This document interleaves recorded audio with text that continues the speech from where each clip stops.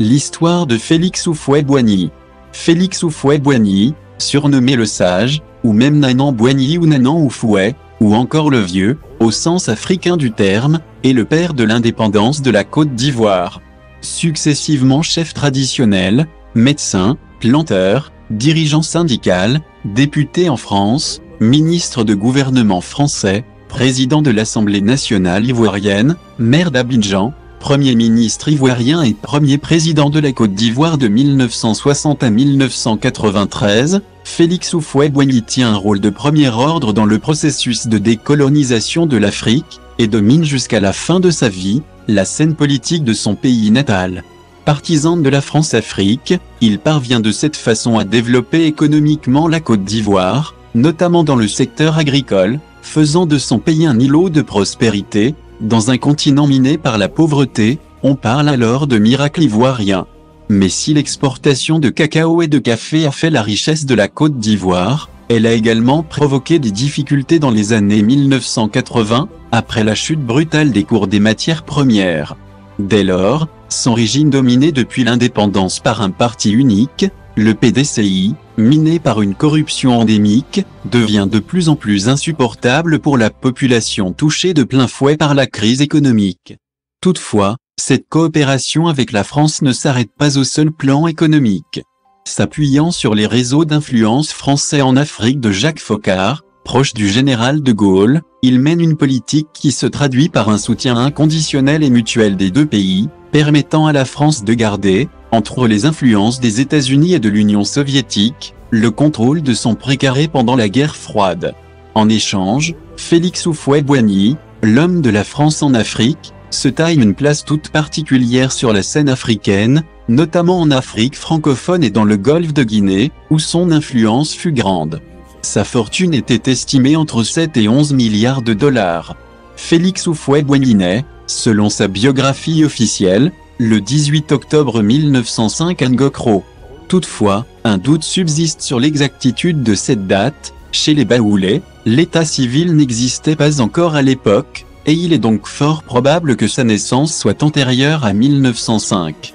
Originaire d'un petit royaume aquais polythéiste, il est le fils d'un dénommé Oufouet qui lui donne à l'origine comme prénom Dia, pouvant signifier dans sa langue, prophète ou magicien.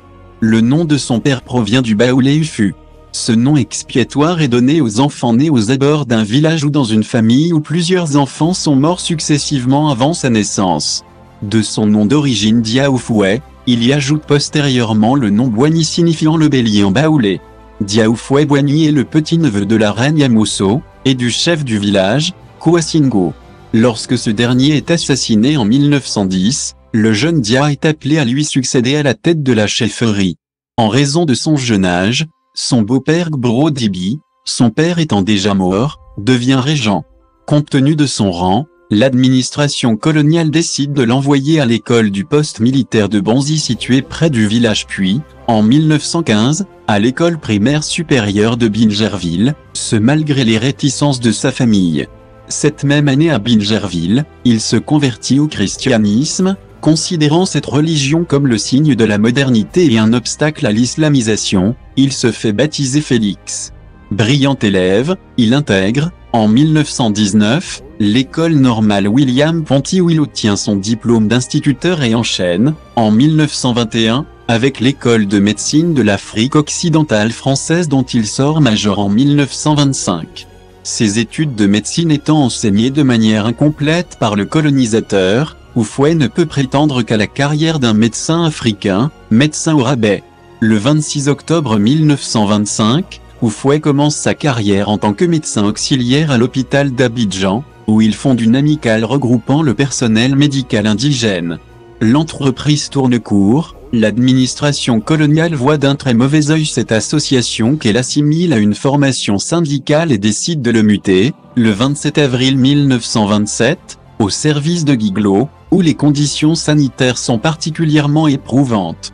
Toutefois, faisant preuve de véritables aptitudes professionnelles, il est promu à Bangourou, le 17 septembre 1929, à un poste réservé, jusque-là, aux Européens. À Bangourou, Oufouet est confronté aux injustices dont sont victimes les cultivateurs de cacao indigènes exploités par les colons. Décidé à agir, il prend la tête, en 1932, d'un mouvement de planteurs africains hostiles aux grands propriétaires blancs et à la politique économique du colonisateur qui les favorise. Le 22 décembre, il rédige, sous un pseudonyme, un article engagé, On nous a trop volé, qui paraît dans un éditorial socialiste publié en Côte d'Ivoire. L'année suivante, Oufouet est appelé à prendre ses fonctions de chef de village mais, préférant poursuivre sa carrière, se désiste en faveur de son frère cadet Augustin. Cependant, afin de se rapprocher de son village, il obtient sa mutation à Dimbocro le 3 février 1934, puis à Tourmedy le 28 juin 1936. Si jusque-là, Oufouet a fait preuve de réelle qualité professionnelle, son attitude déplaît, en septembre 1938, son chef de service lui demande de choisir entre son poste de médecin et son engagement dans la politique locale. Le choix est fait en 1939, son frère décède, il lui succède à la tête du royaume. En devenant chef, Oufouet devient l'administrateur du canton d'Akoué, représentant 36 villages. Il reprend également en charge la plantation familiale qui est alors l'une des plus importantes du pays, et parvient à la développer en diversifiant les cultures de caoutchouc, de cacao et de café, il devient ainsi un des plus riches planteurs africains. Le 3 septembre 1944, il fonde, en accord avec l'administration coloniale, le syndicat agricole africain, SA, dont il devient le président.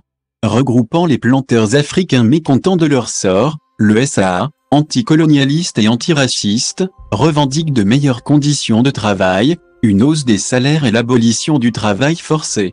Ce syndicat rencontre rapidement le succès et reçoit l'appui de près de 20 000 planteurs, ce qui déplaît fortement aux colons qui vont jusqu'à porter plainte contre Oufouet.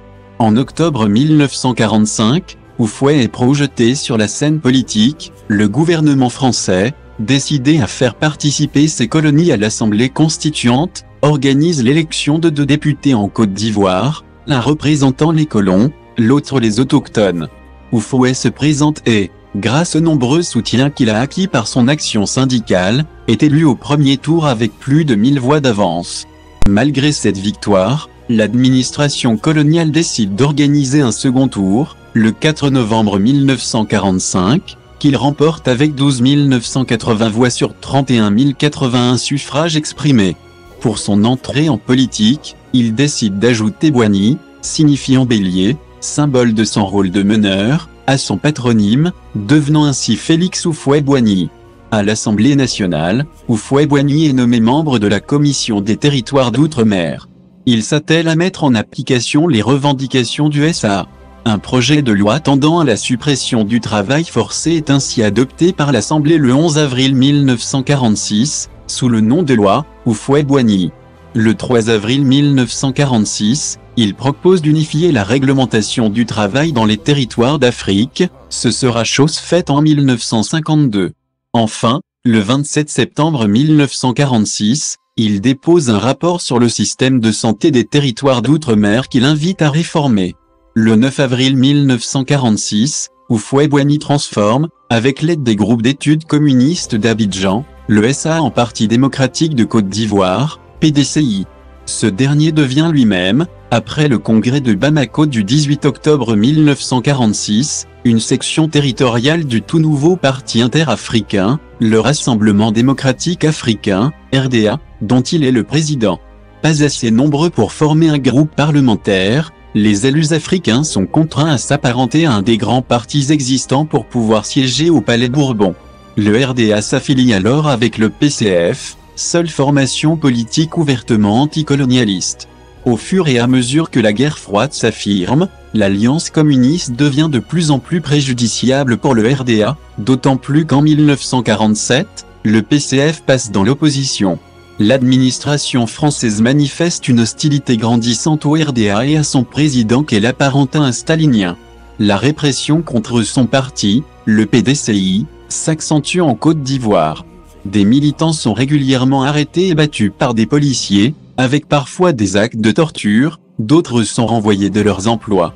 L'un des principaux dirigeants du parti, le sénateur Biaka Boda, est retrouvé pendu et déchiqueté dans le forêt, alors qu'il était recherché par la police.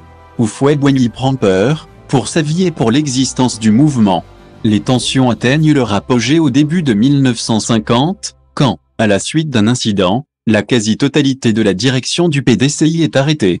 Des rassemblements de protestation sont organisés, alors que la police tire à blanc pour disperser la foule, des colons tirent à balles réelles, tuant 13 manifestants. Au lieu de rechercher les auteurs du massacre, les autorités, craignant des émeutes, font arrêter des milliers de militants nationalistes. Pour désamorcer la crise, le président du Conseil, René Pleven, confie à son ministre de la France d'Outre-mer, François Mitterrand, la mission de détacher le RDA du PCF. Conscient d'être dans une impasse, Houphouët-Boigny accepte en octobre 1950 de rompre avec les communistes, et de ne plus contester l'Union française après une rencontre avec François Mitterrand dans le bureau de ce dernier. Conservant l'image d'un communiste, bien que s'en défendant, il est le seul député RDA réélu en Côte d'Ivoire en 1951. C'est pourquoi, il prononce le 24 août 1951, un discours à l'Assemblée nationale où il conteste le résultat des élections qu'il déclare entachées de fraude. Il dénonce aussi l'instrumentalisation des députés d'outre-mer comme machine à voter. Nommé membre de la commission du suffrage universel, des lois constitutionnelles, du règlement et des pétitions, Houphouët-Boigny entre également au gouvernement le 1er février 1956, en qualité de ministre délégué à la présidence du Conseil dans le gouvernement Guy poste qu'il occupe jusqu'au 13 juin 1957. Sa principale réalisation, dans ses fonctions, est la création d'une organisation commune de régions sahariennes qui permettrait d'assurer l'indépendance énergétique de l'Union française, et de contrer les revendications territoriales marocaines dans le Sahara. Par la suite, Oufouet-Boigny devient ministre de la Santé publique, et de la population dans le gouvernement Félix Gaillard du 6 novembre 1957 au 14 mai 1958. Il essaie de réformer le Code de la santé publique. À la suite de l'adoption, le 23 juin 1956, de la loi cadre des fers, donnant l'autonomie aux colonies africaines, une élection territoriale est organisée en Côte d'Ivoire le 3 mars 1957, au cours de laquelle le PDCI remporte une victoire écrasante. Oufouet-Boigny, qui occupait déjà les fonctions de ministre en France, de président de l'Assemblée territoriale depuis 1953, ayant succédé à Victor Capri-Djedje, et de maire d'Abidjan depuis novembre 1956, décide de placer à la vice-présidence de la Côte d'Ivoire, Auguste Denise, même s'il reste, pour Paris, le seul interlocuteur de la colonie. Contrairement à de nombreux dirigeants africains qui réclament une indépendance immédiate, Houphouët-Boigny souhaite une transition en douceur au sein de l'ensemble français car, selon lui, l'indépendance politique sans l'indépendance économique ne vaut rien. Le 7 août 1960, Houphouët proclame à contre-cœur l'indépendance de la Côte d'Ivoire. Houphouët-Boigny prend officiellement la tête du gouvernement ivoirien le 1er mai 1959. Il ne souffre d'aucune opposition en ce qui concerne les partis rivaux, le PDCI les ayant tout neutralisés en 1957, devenant de facto unique, mais il est en revanche confronté à une opposition interne. Des nationalistes radicaux, menés par Jean-Baptiste Moquet, se dressent ouvertement contre sa politique francophile. Pour résoudre ce problème, Houphouët-Boigny décide de se débarrasser de cet opposant en fomentant, en septembre 1959, le complot du chat noir ou Moquet, accusé d'avoir tenté de l'assassiner avec des fétiches maléfiques, est exilé. En 1960, Houphouët-Boigny se lance dans la rédaction d'une nouvelle constitution. Il s'inspire de la constitution américaine qui établit un exécutif puissant, et de la constitution française de 1958 qui limite certains pouvoirs du législatif. Il transforme donc l'Assemblée nationale en une simple chambre d'enregistrement, votant les lois et le budget, les députés sont désignés directement par lui, et le PDCI, totalement inféodé au président, doit se contenter de servir comme simple intermédiaire entre les masses populaires et l'État. Mais, malgré ces mesures, des protestations émanent encore de l'intérieur, principalement des jeunesses du Rassemblement démocratique africain de Côte d'Ivoire, JRDACI.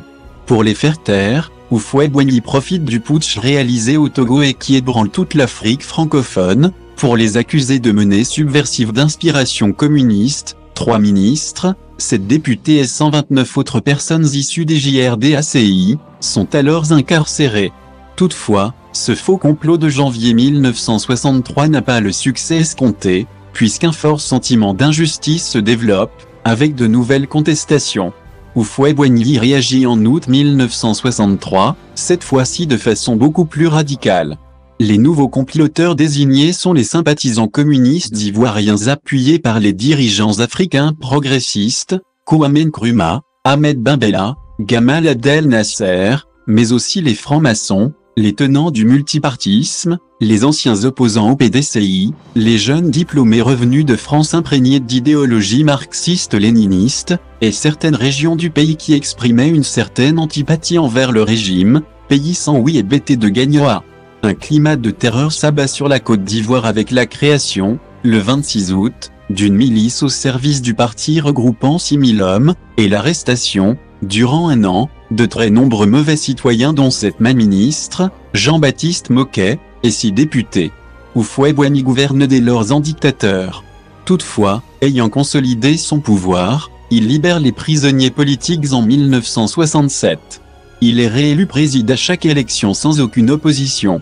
Afin de déjouer toute tentative de putsch, le président ivoirien réduit au strict minimum les forces armées nationales de Côte d'Ivoire, FANCI, créé le 27 juillet 1960. Si Houphouët-Boigny était un dictateur, il n'était pas moins conscient des réalités du marché. Il opte pour le libéralisme économique afin de bénéficier de la confiance de nombreux investisseurs étrangers, notamment français. Le PIB, multiplié par 12, en volume constant, entre 1960 et 1978, passe de 145 à 1750 milliards de francs CFA, tandis que la balance commerciale ne cesse d'enregistrer des excédents. L'origine de cette réussite économique est née du choix du président de privilégier le secteur primaire au secondaire. De cette manière, l'agriculture intensive connaît un développement fulgurant, entre 1960 et 1970. Du temps de la croissance économique, un climat général d'enrichissement et de satisfaction permettait à Houphouët-Boigny de maintenir et de maîtriser les tensions politiques intérieures, sa dictature débonnaire, où les prisonniers politiques sont quasi inexistants, est relativement bien acceptée par la population. Mais, à la fin des années 1980, la crise économique entraîne une sévère dégradation des conditions de vie des classes moyennes et des populations urbaines défavorisées. De fortes agitations sociales secouent alors le pays, créant un véritable climat d'insécurité. L'armée se mutine en 1990 et 1992, et le 2 mars 1990 des manifestations contestataires sont organisées dans les rues d'Abidjan avec des slogans, jusque-là inédits, tels que Oufouet voleur, et Oufouet corrompu. Cette crise économique, sociale et politique englobe également le problème de sa succession à la tête de la Côte d'Ivoire. Depuis l'élimination en 1980 de son dauphin Philippe Yassé, qui était président de l'Assemblée nationale, et donc de plein droit président de la République, en cas de vacances du pouvoir, ou Fouet-Boigny retarde autant qu'il peut, la nomination officielle de son successeur. Sa santé, de plus en plus fragile, attise les convoitises entre ses différents héritiers potentiels qui se mènent, entre eux, une véritable guerre.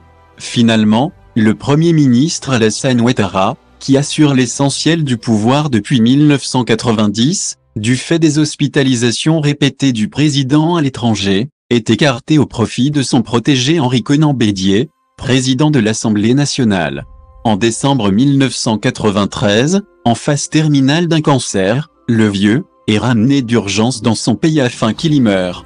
Il est maintenu en vie artificiellement pour que les dernières dispositions soient mises au point concernant sa succession. En accord avec la famille, Félix Houphouët-Boigny est débranché le 7 décembre.